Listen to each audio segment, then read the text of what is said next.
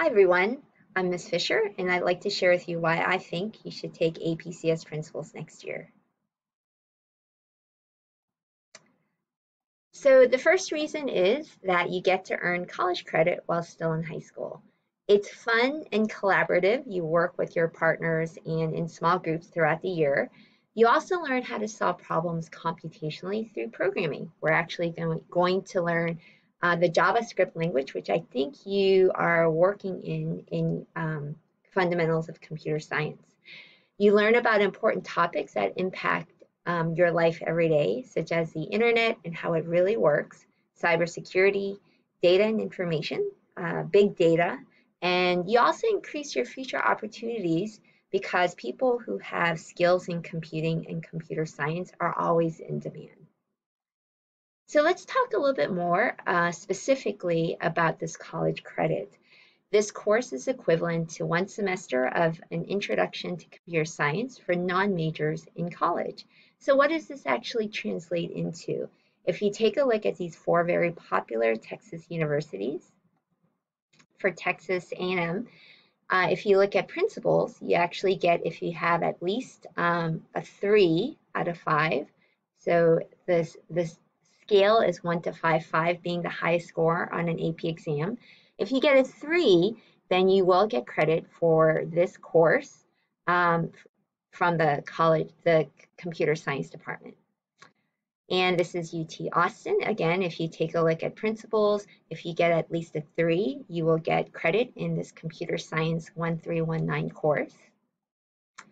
This is Texas State University. And again, if you take a look at principles, if you get at least a three, you'll get credit for this course, CS 302.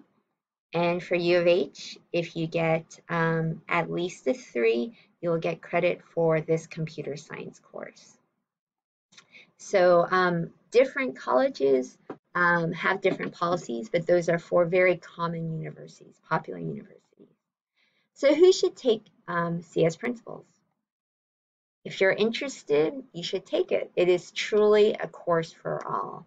Um, I encourage anyone who is uh, curious to ask me questions about it, but it is really a computer science um, course that is designed for anyone who is interested. What are the requirements?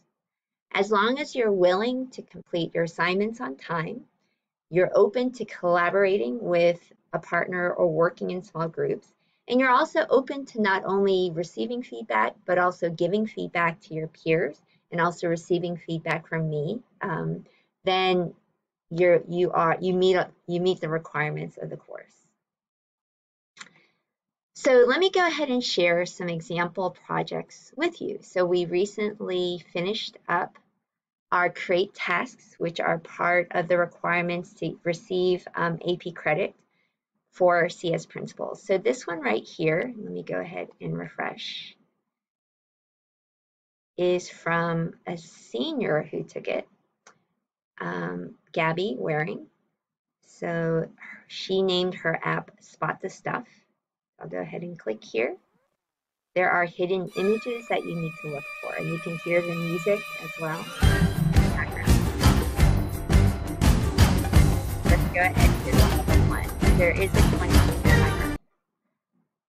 All right, so now we've got to spot the stuff here. And so I'm looking for these things and I see the sunglasses here. And then I see the horseshoe. And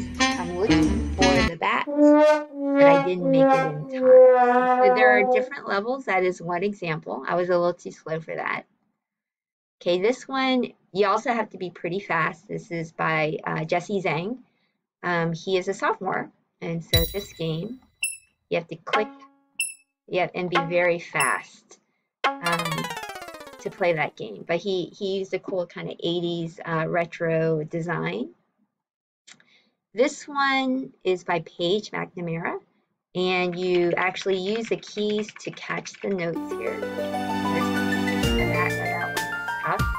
But if you can't catch all the notes in time, and I think I'm running out of time here, then um, you see this bar will go down and will be over.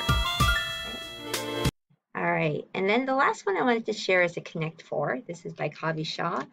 And so if we play together here, we could simulate, he simulated the Connect 4 game. So um, that was just a really neat way to um, have two people play Connect 4, 4, but digitally. So those are four examples. All right, so in CS Principles, you will learn the skills to be able to create your own creative apps. So just a little bit about me. Um, I love rock climbing and hiking, and I would love to know a little bit more about you. If you take APCS Principles, we will get to know each other and all of the students in the class together.